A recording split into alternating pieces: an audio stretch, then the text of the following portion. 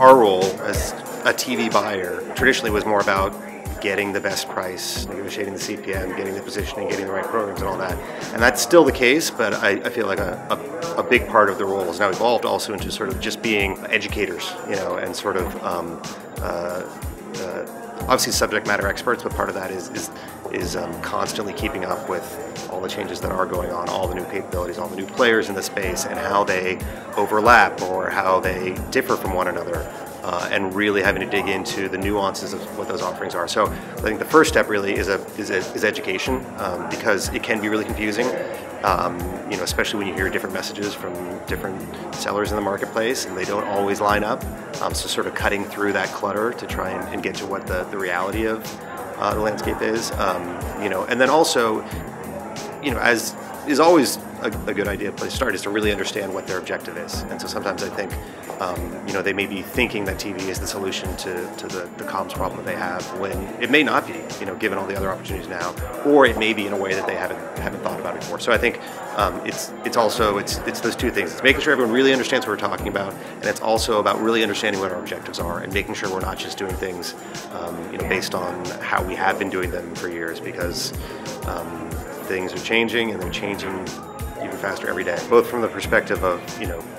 um, just physically and technology wise, like how is content being delivered to someone's TV screen or whatever screen that they are choosing to consume content on, but also even just um, sort of from the place that, that TV took within uh, a marketer's toolbox, within a media plan, you know, what role it played. I think um, all those things are changing in terms of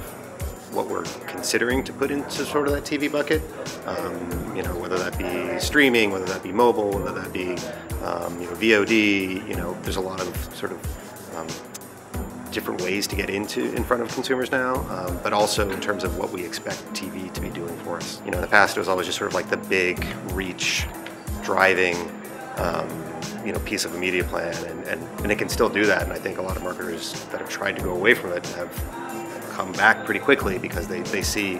um, you know what happens when they take that out of the equation. But I think sometimes we're we're selling it a little short in terms of um, all the other things it's capable of now because of technology, because of the different ways that that content is getting in front of consumers. So in terms of how we can target, in terms of um, the uh, evolution from you know what was really a, a one-way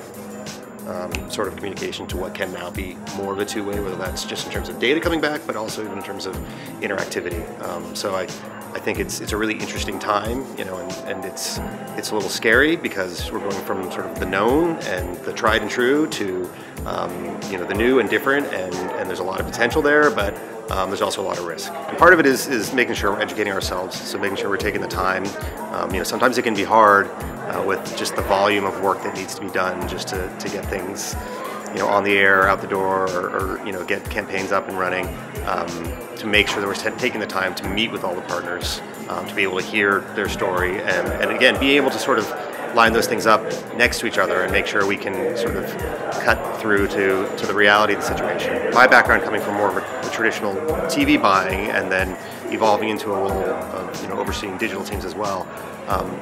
for the most part, TV buyers, especially younger TV buyers, are, are more than willing to learn everything they can about, you know, sort of new technologies, new partnerships, Because I think they all see, even from just a self-preservation point of view, that this is where uh, the industry is going, this is where um, uh, advertising and marketing is going, and to position themselves, you know, in terms of um, you know, marketing themselves, that that skill set is going to be necessary. But at the same time, holding on to some of what makes them really valuable with you know some of those legacy skill sets. We do um, you know have training courses now. You know, really sort of trying to make sure that people understand the one-on-ones behind whether it be you know addressable TV or audience buying or um, you know ad ops and just understanding sort of the pipes behind how some of these things work and how that impacts what what uh, capabilities are. But it's just a constant um, it's a constant battle to stay to stay on top. You know, I feel like um, you know the nice thing and, and, the difficult thing about what's happening these days is that you know it feels like 50% of it changes every year. So it's a lot to keep up with. It also means that um, as long as you're paying attention, you can be pretty on top of things fairly quickly in a way that maybe wasn't the case uh, 10 years ago or 15 years ago.